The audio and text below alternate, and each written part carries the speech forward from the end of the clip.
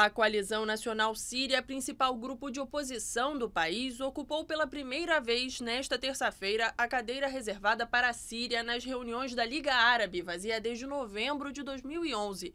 O presidente da coalizão, Ahmed Moa al-Khatib, e o primeiro-ministro interino das regiões dominadas pelos rebeldes, Hassan Rito, foram convidados pelo emir do Catar, Sheikh Hamad Ben Khalifa Al Thani, para participar do encontro em Doha. O emir justificou a concessão da cadeira citando a legitimidade que o grupo goza na Síria e o apoio que tem no exterior.